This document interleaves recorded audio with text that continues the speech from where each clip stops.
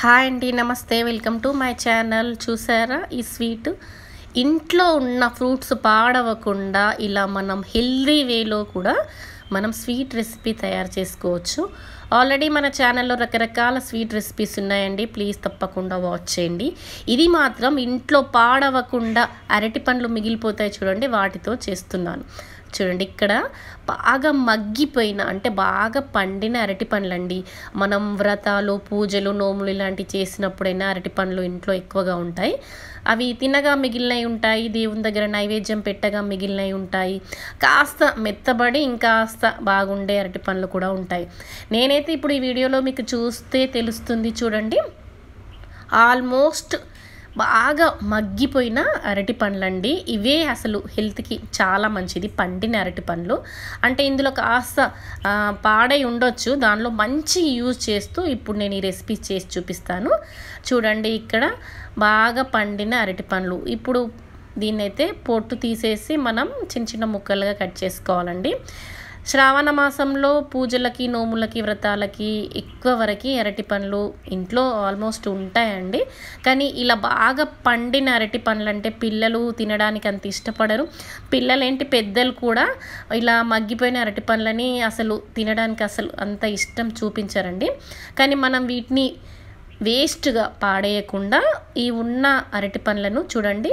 బాలేని పాటు తీసేసి మంచిగా ఉన్న అరటి పండుని మాత్రమే ఇలా చిన్న చిన్న ముక్కలుగా కట్ చేస్తున్నాను. దీంతో మనం ఇప్పుడు మంచి స్వీట్ రెసిపీ చేసుకోవచ్చు. ఇక్కడ అన్ని వేస్టేజ్ తీయగా ఈ సుమారుగా ఇవి ఒక మూడు అరటి పండ్ల ముక్కలు సుమారుగా అవుతాయండి. నేను ఐదారు కట్ చేశాను. అందులో అన్ని వేస్టేజ్ తీయగా మూడు అరటి పండ్ల వరకు ఈ ముక్కలు వచ్చాయి.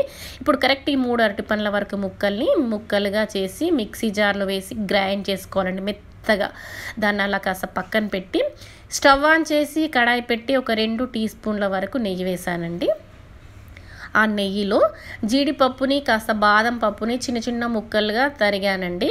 మనము అరటిపండు ఈ స్వీట్లో ఇలా డ్రై ఫ్రూట్స్ వేస్తే చాలా బాగుంటుందండి. అందులోనూ నేతిలో వేయిస్తే ఇంకా బాగుంటుంది. ఒకవేళ ఇష్టం ఉంటే వేసుకోండి ఇంట్లో ఉన్న వేసుకోండి లేకున్నా పర్వాలేదు. అలా వేయించి పక్కన పెట్టేశాక ఇప్పుడు అదే నెయ్యిలో ఒక సగం కప్పు వరకు గోధుమ పిండి వేస్తున్నానండి. మీరు ఏ కప్పుతోటైనా మెజర్మెంట్ చేసుకోవచ్చు. ఒక మూడు బాగా పండిన అరటి పండ్ల ఆ, మిశ్రమానికి ఒక్క సగం కప్పు వరకు గోధుమ పిండి తీసుకోవాలండి. కరెక్ట్గా మెజర్మెంట్ సరిపోతుంది.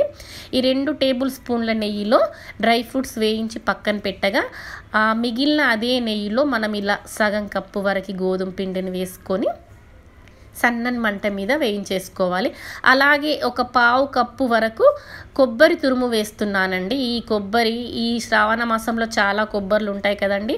వాటిని నేను శుభ్రంగా కడిగేసి పైన ఉన్న డార్క్ పార్ట్ని తీసేసి గ్రైండ్ చేసి ఎండబెట్టానండి. ఆ కొబ్బరి తురుమే ఇది. దీన్ని బయట మార్కెట్లో డెసికేటెడ్ కొబ్బరి కోకోనట్ పౌడర్ అని కూడా అమ్ముతారు. ఇది ఇంట్లో చేసిందండి. ఇప్పుడు నేను దాన్ని కూడా వేశాను. అది అలా కలపగా ఒక కప్పు వరకు ఇందులో షుగర్కి నేను మిశ్రీ యూస్ చేస్తున్నానండి. హెల్దీగా చేస్తున్నాం కదా అందుకొరకని పంచదారని మాత్రం వాడట్లేదు. బెల్లాన్ని కూడా వాడట్లేదు. ఒక కప్పు మిశ్రి దీన్నే నవోతు కండ చక్కెర అంటారండి ఇది చాలా మంచిది. ఒక కప్పు మిశ్రీకి ఒక కప్పు నీళ్ళు పోసి గిన్నెలో పోసి స్టవ్ ఆన్ చేసి దాన్ని పక్కన పెట్టేసాం అనుకోండి అది కరిగిపోతుందండి. ఆలోపు ఇటు సైడు ఈ గోధుమ పిండి కూడా నెయ్యిలో సన్నని మంట మీద వేగిపోతుంది.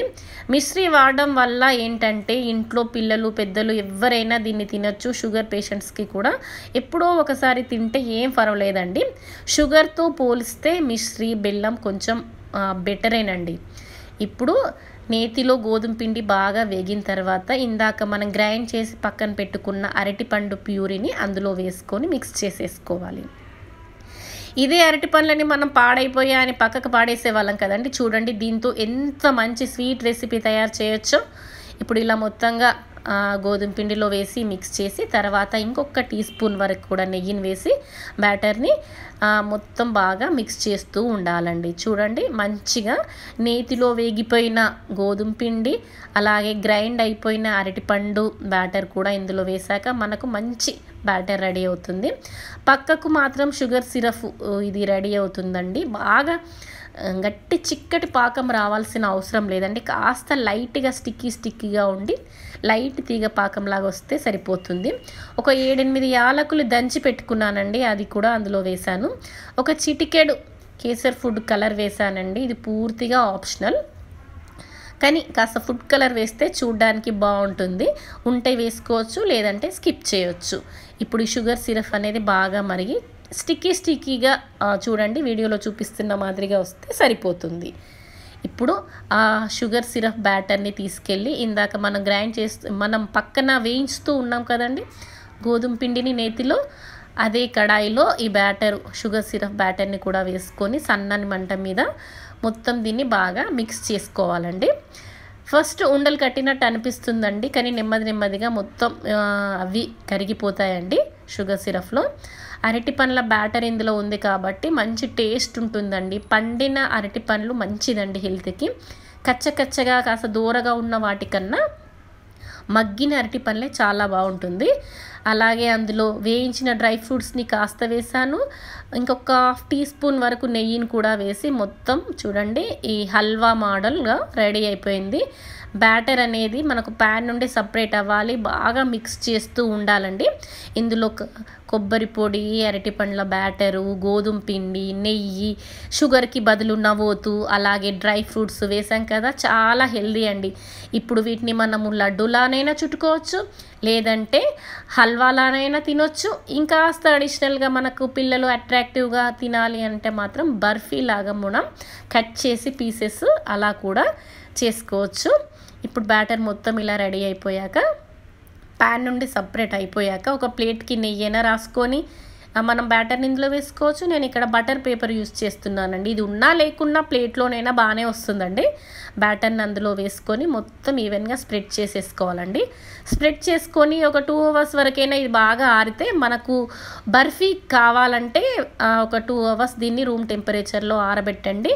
అప్పుడు పీసెస్ బాగా కట్ చేసుకొస్తాయి ఇప్పుడు మొత్తం అంతా స్ప్రెడ్ చేశాక డ్రై ఫ్రూట్స్ వేయించిన డ్రై ఫ్రూట్స్ని కూడా పైనుండి వేసి ఇలా ఒత్తేసాం అనుకోండి మొత్తం దానికి పట్టుకుంటుందండి డ్రై ఫ్రూట్స్.